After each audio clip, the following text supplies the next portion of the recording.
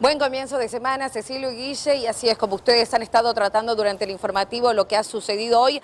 Ha sido un día clave en la situación de estos cuatro jugadores de Vélez. Bueno, nosotros actualizando la información desde aproximadamente 18 horas Comenzaron los estudios, obviamente físicos, clínicos, por parte de los jugadores. Esto se hizo en la subjefatura en eh, San Miguel y Chile.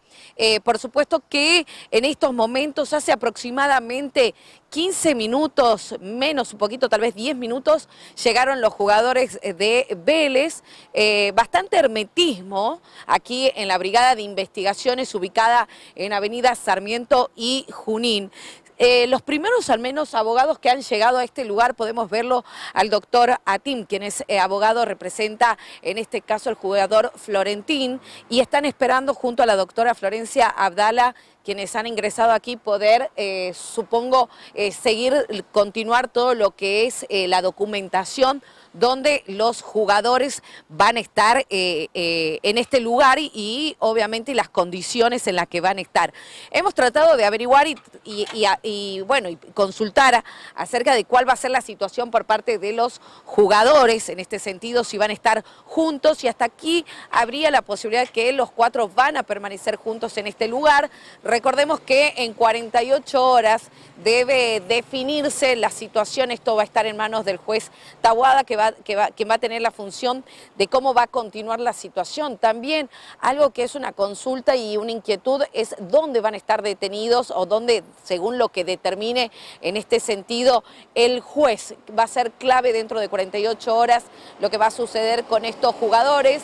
Lo que nos comentaban es que la familia, que estuvo aquí de dos de ellos, estamos hablando de Florentini y de Sosa, van a permanecer en la provincia de Tucumán, que bueno, las intenciones al menos por parte de los abogados es que si se llega a dictar una prisión domiciliaria, se haga en los domicilios. Por supuesto que esto también se va a rever la situación de cada uno de los jugadores. Pero como ustedes pueden observar, eh, hace un ratito, bueno, estaba allí el doctor Atim junto a Florencia Abdala y en este sentido lo que han procedido, por supuesto, a continuar con toda la documentación eh, en este sentido. Han entrado en, la combi, en la misma combi en la que fueron trasladados desde tribunales penales. Bueno, aquí han llegado en, un silencio, eh, bajaron tranquilos porque también Hubo, hubo, algunos rumores que esto no, no, no, fueron respondidos por ninguno de los abogados porque ah, habría existido algún tipo de conflicto en esto entre Sosa y Florentín, algo que todavía no se pudo confirmar, lo hemos tratado de consultar con los abogados, pero por el momento han decidido no hablar. Hemos estado en contacto, sí, vía telefónica con Baclini, hemos estado en contacto con el doctor Atín. Molina directamente no atendió el teléfono, pero creo que han decidido esperar para luego dar declaraciones a los medios. Sí, aquí en la Brigada de Investigaciones ustedes pueden ver que están cerrado el portón, están muy celosos de lo que, eh, obviamente, de la entrada y salida, algo que muchas veces se permitía ingresar, bueno, en estos momentos no se puede ingresar solamente el personal de la Brigada de Investigaciones. Como lo decíamos, hace 10 minutos, luego de horas extensas en lo que ha sido eh, en los exámenes médicos que se hicieron en la subjefatura, recién ahora fueron trasladado. Según también nos dicen, están acondicionando porque ellos si bien van a estar juntos, van a estar separados de lo que son las otras personas que están aquí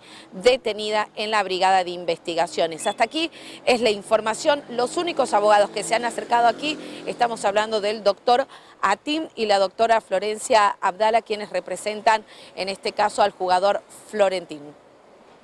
Javi, perfecto. Hemos completado entonces el desarrollo de eh, esta noticia, que sin lugar a dudas, como lo comentábamos al principio, ha sido la noticia del día para nuestra provincia con la información también que manejábamos de horas de la mañana, la llegada de los jugadores y finalmente esta determinación de la aprehensión al menos por 48 horas y también recordando que todos los estudios realizados en la jornada de hoy, hace instantes, en lo que respecta a la muestra de la toma de muestra de ADN y también el peritaje de los celulares, va a tardar, según lo que advirtieron, aproximadamente 15 días. Es decir, que va a ser un paso a paso que vamos a tener que ir siguiendo, son estas 48 horas en primera instancia y luego obtenidos los resultados recién los, por los próximos 15 días. Por eso es lo que decíamos, ¿no? Tendremos que esperar estas 48 horas que van a ser clave en lo que va a ser la decisión del juez y allí, bueno, cómo va a proceder la prisión preventiva o no, lo que dicte el juez en la situación de estos jugadores. Bueno, muy bien Gaby, excelente cobertura. Vamos a estar al tanto de esta información con el correr de las horas. Será hasta mañana. Buenas noches.